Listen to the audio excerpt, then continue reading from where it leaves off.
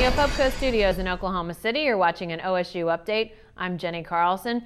Oklahoma State is getting fantastic production out of Charlie Moore, Cowboy wide receiver. He's largely forgotten about, though. John Helsley joins us on the phone, our OSU football beat writer. And John, why is Charlie Moore forgotten about? You know, I think you have just so many uh, appealing options in this wide receiver group with Josh Stewart and Tracy Moore and some young guys like Jhajuan Seales and Brandon Sheperd, Marcel Ateman. Those are the guys that really get your attention because of their size and their speed.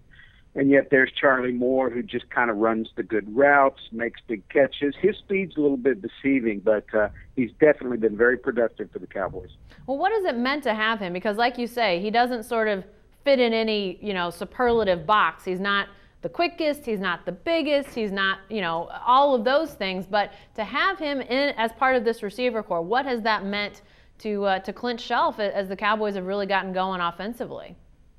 I think he provides a real comfort to uh, to Clint as far as a guy that you know you can rely on. You know he's probably going to be in single coverage.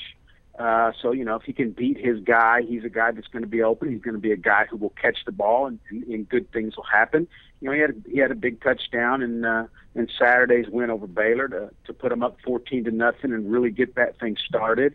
And so I, I think that's it as much as anything. He's a comfort. Well, and I assume going into that Bedlam game against a, a Sooner secondary that at least last Saturday showed that they can be beaten. I would say having as many weapons like Charlie Moore to, to pair with these other guys could make Oklahoma State really a handful for the Sooners. Well, you would think so because you know it, it seems like the passing game is improving almost weekly right now with with Clint throwing the ball well, and also you know these receivers, you know, starting to do their thing. Josh Stewart looked very healthy the other night after having a, a bummed up uh, foot.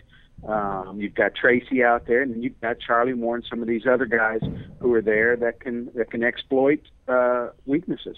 All right. Bedlam kicks off at 11 a.m. on December 7th in Stillwater. Be sure to stay with the best coverage team anywhere at newsok.com and every day in the Oklahoman.